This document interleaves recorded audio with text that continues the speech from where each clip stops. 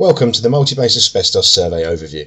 This demonstration has been created using Windows 7 and Microsoft Access 2007. If an earlier operating system or version of Access is used on your computer system, then minor visual variations may be noticed, but the database structure will remain the same. This system is designed to electronically record and control occurrences of asbestos in buildings and other structures.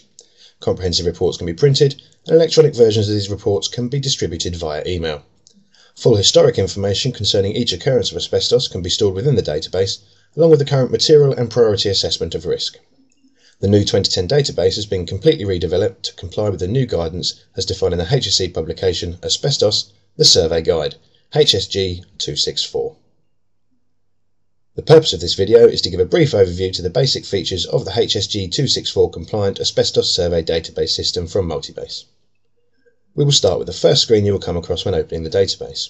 As you can see, there are four different sections, and each one of these will open a new section of the system. The Clients button opens a screen where you can enter all information on your customers, both past and present. The Find by Company drop-down menu is automatically set to show all of your present clients, but if you need to, put a tick in the X Clients box, and the system will change to show all your old clients in the drop-down menu.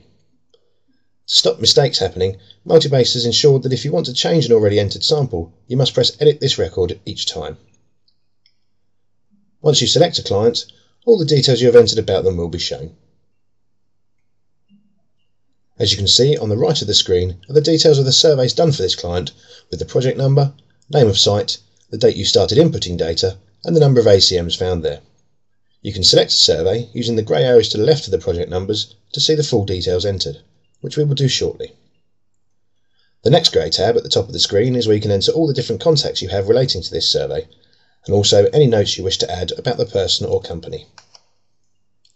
The next grey tab allows you to keep a record of any communications you have made and received in regard to the survey with a date record. The Overdue All Sites report button will open up a print preview of all the ACMs for this client on all sites, and the re-inspection date as entered by the surveyor into the system. All inspections that are overdue will be shown highlighted in red. The Add New Site for this client button will allow you to open a new site screen where data can be entered, but for the purpose of this overview, we will look at an already completed demonstration survey. The client's details are all here, including the type of survey. This is now printed in bold on the cover of any full survey printed to be compliant with the new HSE guidelines. If you have selected a re-inspection asbestos survey, the Re-inspection Bulk Update button can be used if there are no changes to ACMs once a re-inspection has been completed, and you can change all of the re-inspection dates at the same time. As you can see, a warning message will appear, so please be sure to read this before you proceed. The grey tabs at the top consist of the site outline, the site description, any drawings a surveyor needs to enter to give a specific location for an ACM, then any bulk scan certificates. The next six tabs objectives, techniques, caveats, notes, summaries, and recommendations can all be entered automatically if you use the same things on a regular basis, or you can enter the data manually. If you want to use this facility, you can auto enter using the auto enter button for just the specific tab you are in, or the auto enter all button. This is used to enter all the data for all six tabs. The data is entered by yourself in the setup screen section of the system, which we will visit shortly. You then have the excluded areas tab, and then the instructing party for this survey. All of these grey tabs can be printed separately or as part of the full survey print. The Samples for this site button opens a screen where you can see all the separate samples entered into the database. You can enter a picture of each sample, along with the material assessments where you will get a risk band of score, and also the priority assessments, where again you will get a risk score from the details you have entered. The drop-down menus on the left allow you to select a specific area or product name if needed. And as you can see, allows you to enter the surveyor's name, a costing for the task, and the contractor that's completing the work for you. Alternatively, if you're asked to quickly reference a particular sample, then you can enter this in the Find Sample section, and all the inputted data will be displayed. The Auto Copy button can be used if there are several of the same samples that need to be entered into the system.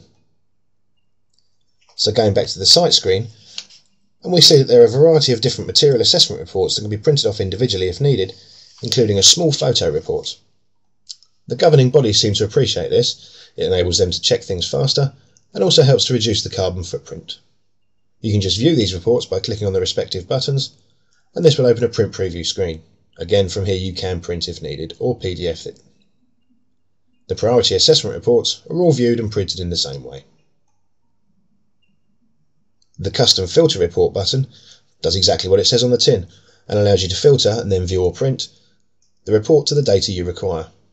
Let's have an example. If you wanted to see all the samples taken from building 1 on the ground floor, this will allow you to quickly find out how many samples there are, their location, the product, what type of asbestos was found, the drawing references, and the material and priority risk bands and scores. In the bottom right corner of the screen you will see a Change Client button. This is to ensure that you can change the site into another client section if needed. The Print Full Survey button will open up a window with a list of all the reports available. In the top right corner is the User Default Setup screen. You can set the default reports which will be printed every time, or you can manually choose which you want to print. These can be printed off or sent to a PDF generating program and then saved to your computer for records and emailed to anywhere in the world. Multibase Systems Limited recommends PDF Factory. This can be acquired from us if needed. For this system to be compliant with the HSG 264 guidelines, we've added a report called the Asbestos Register, which you can see here.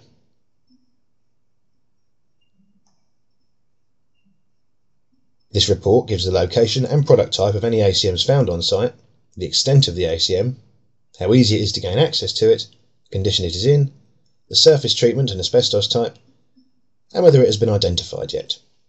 Then the sample number, material and priority risk scores, and the accumulated risk score. Now we go back to the main screen and you'll see the filter button. This enables you to quickly reference any samples in the whole database from any clients without having to enter the full system. You can then view or print this report in the usual manner. And now to the setup screen, which is fairly self-explanatory. You can enter all the auto-enter information mentioned earlier into the system by using the tabs to the right of the screen here, you can choose what data is entered into which type of survey and can enter as many as you wish. Simply start typing in the empty box and a new blank record will appear underneath if you need it. The tabs to the left of the screen are there so you can enter any new area, room, floor, action and product types that you come across.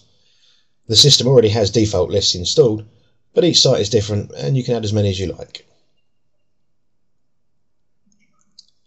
The removal contractor's details are entered in the Removal Contractors tab, and the names of the surveyors you use can be entered into the Surveyors Names tab. The default picture location tab is self-explanatory, and the Statistics button gives you the stats for the whole database system. The tabs in the centre are the main system tabs. They are used either when you first set up the system or when you need to contact Multibase to update the system. At the bottom of the screen you will see three tabs these tabs are used to print off the data sheets that the surveyors can take with them when surveying a site to make the system easier. And finally, the Find Sample drop down menu. This again is fairly self explanatory and allows you to open a read only screen of any sample in the database system.